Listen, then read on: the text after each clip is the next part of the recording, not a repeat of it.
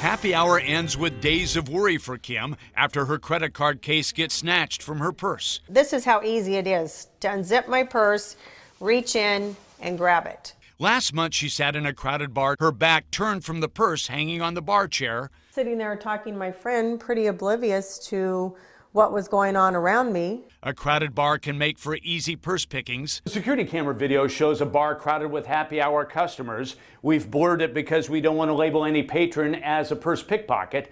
But the victim believes in this crowd, a suspect was able to maneuver close to her and steal her credit cards.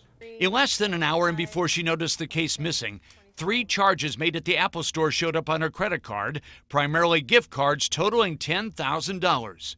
I was amazed how much, and the Apple Store thought it was pittance. They said, you know, $10,000 is nothing to them. The video shows men right behind her, and one leans in several times, but there's no clear evidence to call him a suspect. We work with a lot of retail and restaurants and bars. Fact Finder showed Matt shot of complete security that video from the evening of the theft. People that are uh, committing these crimes have done it many times, have practiced it many times.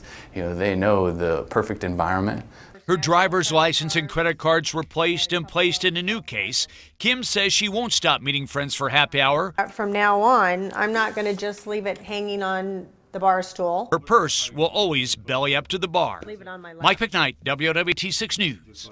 A detective on the case has requested that Apple provide video of the purchases made with the victim's credit cards. And we ask Apple corporate uh, media whether $10,000 in gift cards sold in minutes of each other should have been a red flag. So far, no word back. I've done that